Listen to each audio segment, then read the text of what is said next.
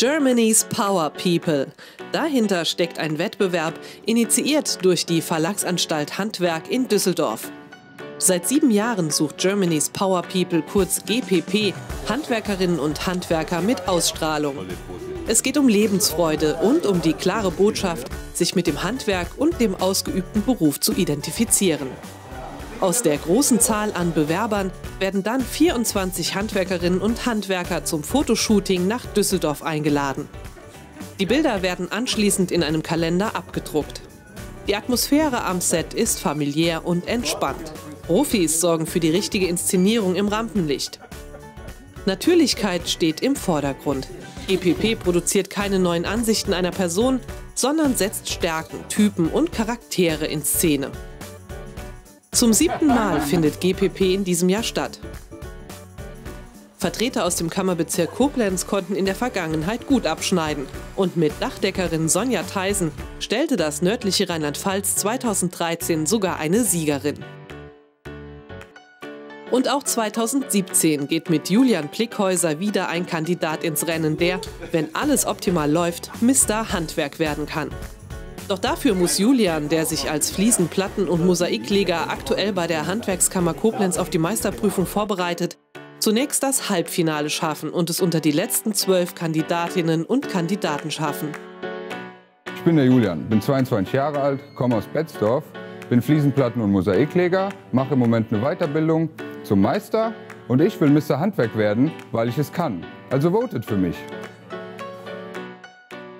Ab 1. Dezember heißt es dann Stimmen sammeln. Unter germany-powerpeople.de läuft bis Ende Februar das Voting für das Finale. Hier braucht Julian jede Stimme und hofft auf eine breite Unterstützung. Das große Finale findet dann am 8. März 2017 auf der Internationalen Handwerksmesse in München statt. Die bisherigen Erfahrungen fasst GPP-Teilnehmer Julian so zusammen eine richtig gute Erfahrung. Also man hat viel mitgenommen von dem Tag. War spannend, aber auch anstrengend, muss ich sagen.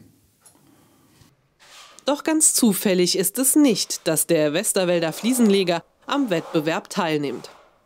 Die Juniorchefin des Unternehmens Heukäufer stand bereits 2016 vor der Kamera und hat durchweg positive Erfahrungen gesammelt. Es war eine super schöne Erfahrung. Ähm, ganz tolle Leute haben mitgemacht. Ich hätte auch nie gedacht, so weit zu kommen. Und ich hätte auch nie gedacht, dass der Julian Interesse hat, damit zu machen und dass er dann wiederum so weit kommt. Ähm, was danach kam,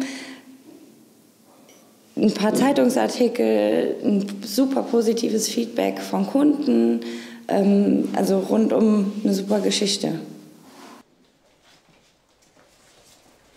So fiel die Entscheidung für Mitarbeiter Julian etwas leichter, nun in die GPP-Spuren seiner Chefin zu treten, wobei sogar die Mutter ihren Beitrag leistete.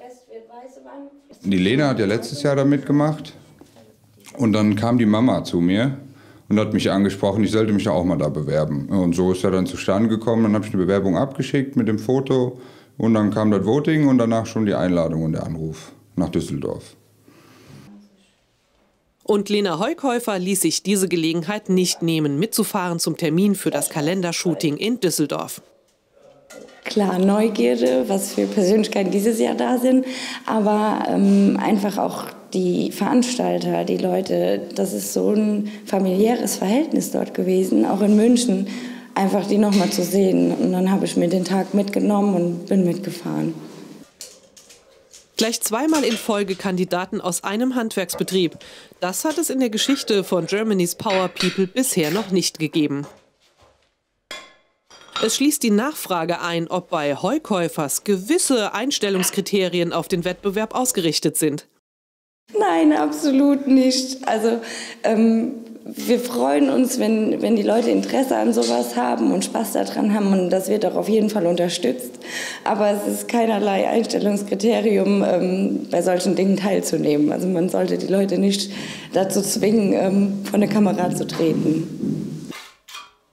Bei allem, was nun folgt, heißt es Daumen drücken für Julian Klickhäuser. Und natürlich ab 1. Dezember voten, voten, voten.